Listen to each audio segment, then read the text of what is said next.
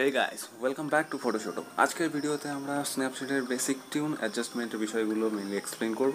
আপনার মোবাইলে যদি স্ন্যাপচ্যাট মোবাইল অ্যাপটি না থেকে থাকে, তাহলে প্লে স্টোরে গিয়ে সেটাকে ইনস্টল করে নেবেন। তারপর আপনার ফটোটি চুজ করুন, যেমনটা আমি ফটোটি চুজ করব। তারপর সেটাকে সেভ করে দিন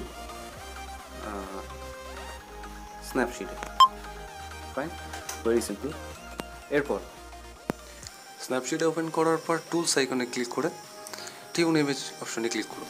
ইমেজ টিউনিংয়ের বাকি অপশনসগুলো দেখার জন্য আপনার আঙুলটি স্ক্রিনের উপর রেখে উপর বা নিচে ড্র্যাগ করবেন, তাহলে বাকি অপশনসগুলো ভিজিবল হবে। যেমনটা এখানে এখন আপনারা দেখতে পাচ্ছেন।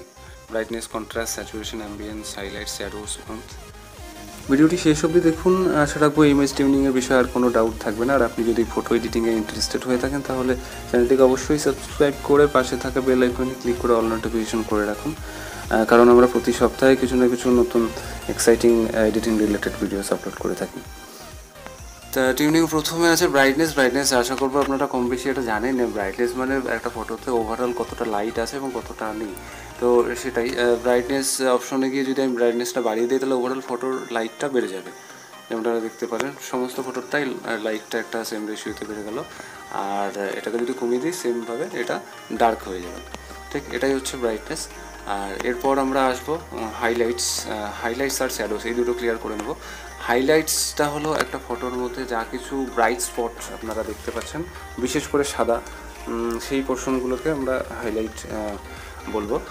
আর ঠিক তার অপোজিট হচ্ছে শ্যাডোস যে পোর্শনগুলো আপনি ব্ল্যাক বা ডার্ক পোর্শনগুলো যেগুলো দেখতে পাচ্ছেন ডার্ক স্পটগুলো সেগুলো হচ্ছে শ্যাডোস তো হাইলাইট যদি আমি বাড়াই, তাহলে দেখতে পারবেন যে ওই বিশেষ করে যে ব্রাইট স্পটগুলো আছে, সেগুলোই কিন্তু একমাত্র সেগুলোই একটু লাইটেন হচ্ছে। এবং যদি কমিয়ে দিই, তাহলে পরে সেই পার্টগুলো কিন্তু লাইটটা কমে যাচ্ছে।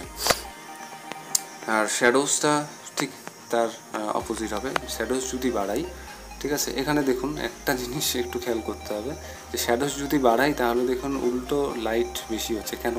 কারণ এক্স্যাক্টলি খেলাটা এখানে শুধু লাইটের উপর। টোটাল খেলাটা লাইট করো ব্রাইটনেস আগে দেখলাম আমরা ব্রাইটনেস যদি বাড়াই তাহলে ওভারঅল ফটো লাইটটা বাড়ে। ঠিক একইভাবে যদি আমরা হাইলাইটস বাড়াই তাহলে পরে হাইলাইটের যে পার্টগুলো আছে মানে ব্রাইট স্পটগুলো আছে, সেই স্পটগুলো লাইটটা বাড়ছে।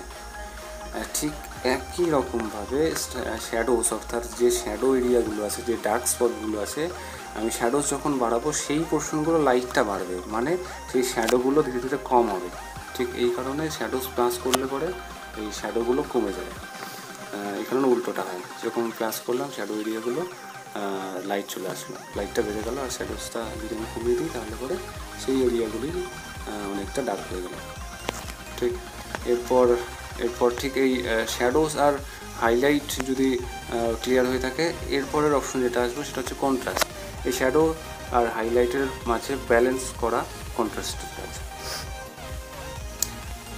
এটা কন্ট্রাস্ট যদি কমিয়ে দিই, তাহলে পরে মাঝের ডিফারেন্সটা অনেকটাই কম থাকে আর কন্ট্রাস্ট যত বাড়বে হাইলাইটেড পার্ট আর শ্যাডোস পার্টের মধ্যে ডিফারেন্সটা ঠিক ততটাই বাড়তে থাকবে।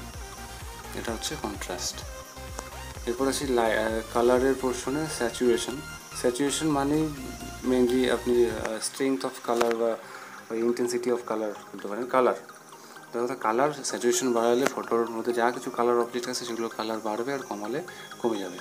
এটা যদি আমি কমিয়ে দিই, তাহলে দেখুন কালারগুলো কমে যাচ্ছে। একটা সময় এসে ব্ল্যাক অ্যান্ড হোয়াইট হয়ে গেল। আর যদি বাড়িয়ে দিই, তাহলে পরে প্রত্যেকটা অবজেক্টেরই কালারগুলো বাড়তে থাকবে।